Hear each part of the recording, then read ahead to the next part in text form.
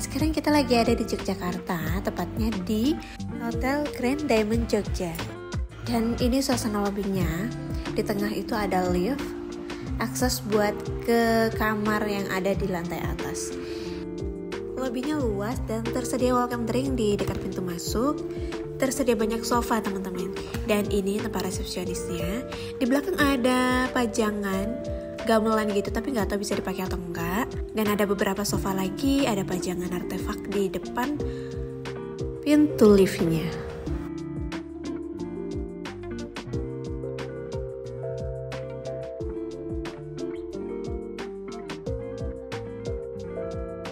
Dan sekarang kita mau menuju kamar yang berada di lantai 2 dan pemandangan di dalam liftnya itu langsung ke lobbynya teman-teman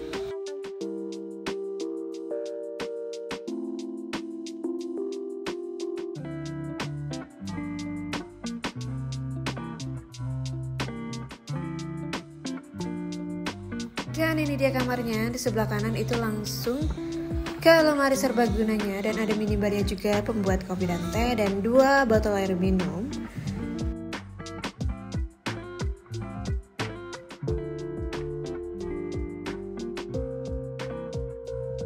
Dan ini kamar mandinya nih. Di dalamnya ada bathtub, ada handuk, dan ada showernya juga jadi bisa pilih salah satu bisa bathtubnya dipakai bisa showernya juga atau pilih salah satunya. Dan ini toiletrisnya ada dua sikat gigi dua shower cup dan satu piece cotton dan sabun dan ini toiletnya. Fasilitas di kamar lengkap ada raknya juga ada TV layar datar ada meja kursi Kamarnya cukup luas, tersedia satu sofa. Tempatnya bersih dan rapi. Si kecil udah tidur duluan untuk menikmati kasurnya. Sekarang kita lihat brosurnya. Dan ini tampak depan hotelnya, teman-teman. Ada room rate-nya. Bisa dilihat di aplikasi untuk pesan tiket itu harganya jauh lebih murah dan kemarin juga harganya memang cukup naik berapa persen karena di weekend ya teman-teman rame banget. Kita cari keliling juga kemarin banyak yang penuh hotelnya.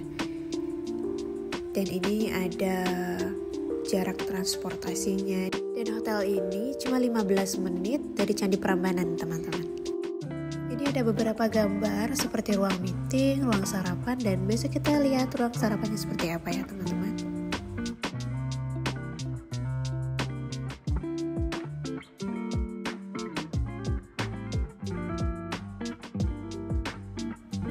Dan ini merupakan buku petunjuk mengenai Hotel Diamond Yogyakarta dan beberapa peraturan yang ada.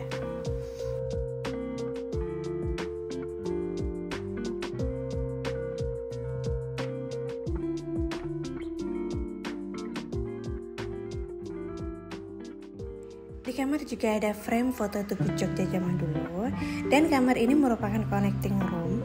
Karena kemarin hotelnya udah full, jadi kita pilih kamar yang ini teman-teman pagi dan sekarang jam 7 kita mau menuju tempat sarapannya. Kita bisa lihat dari lantai 2 ke bawah itu ruang lobbynya di pagi hari itu kayak gini. Sekarang kita turun satu lantai menuju tempat sarapannya. Dan ternyata kita itu salah lantai teman-teman jadi kita naik ke atas lagi sih satu lantai lewat tangga ini. Dan di sebelah sana ada taman. Kita lihat dulu tamannya seperti apa ya teman-teman.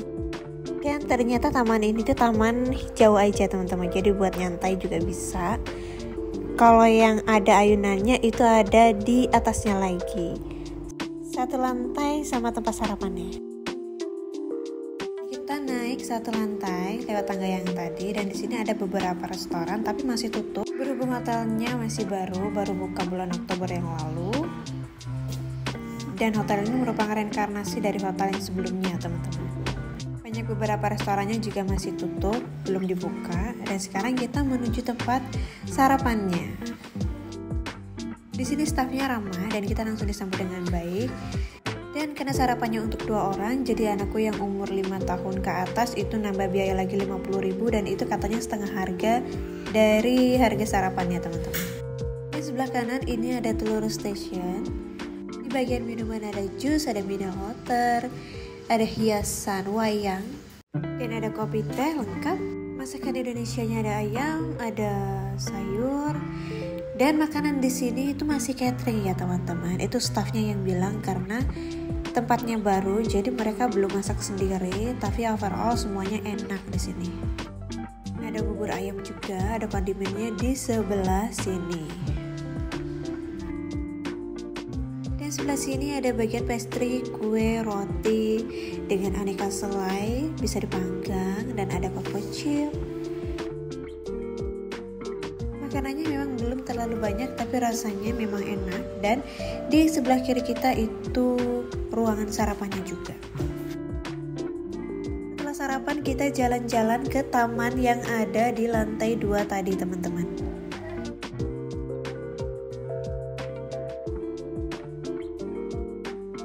Dan di bawah ini adalah taman yang kita lihat sebelumnya. Ada ke bagian kanan dan kiri, sekarang kita menuju ke kiri dulu karena anak-anak tadi lihat ada beberapa ayunan, jadi kita mau main di situ dulu. Untuk bawa anak-anak ke sini kita harus lebih hati-hati karena memang pagar pembatasnya itu nggak sampai ujung jembatannya teman-teman. Jadi lebih berhati-hati lagi gitu.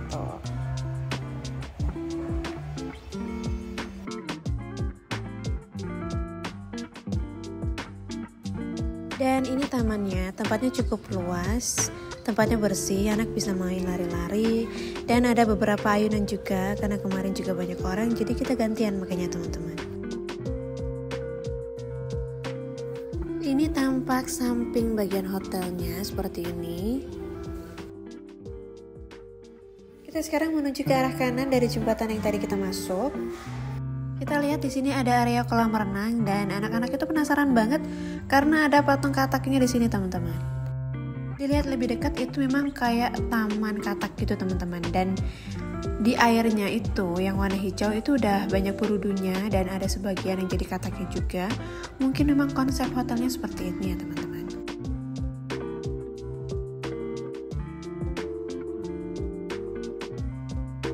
Ini area kolam renangnya, tapi kolam renangnya ini belum bisa dipakai karena memang masih tahap renovasi. Sementara ini kita lihat-lihat dulu sambil jalan-jalan.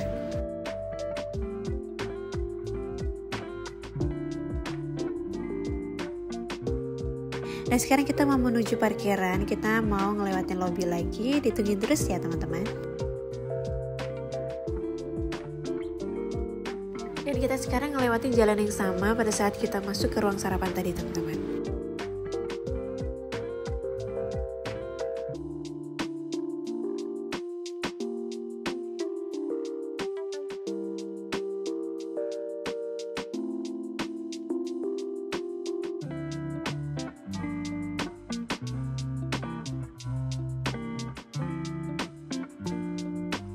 Menuju keluar dan ini suasana di teras hotelnya. Tempatnya rapi, bersih. Dan sekarang kita menuju parkiran karena memang weekend rame banget teman-teman. Jadi parkirannya juga full. Halaman parkirnya luas, tempatnya juga bersih sekarang kita mau menuju ke mobil kita mau beres-beres dulu karena sebentar lagi kita mau check out lagi melanjutkan perjalanan selanjutnya.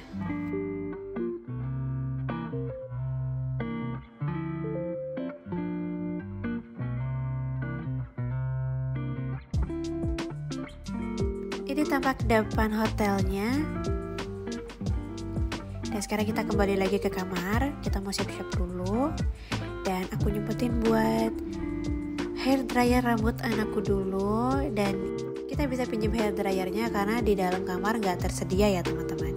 Buat teman-teman semua terima kasih sudah menonton review pengalaman kita menginap di Hotel Demang Yogyakarta dan sampai jumpa lagi di next video.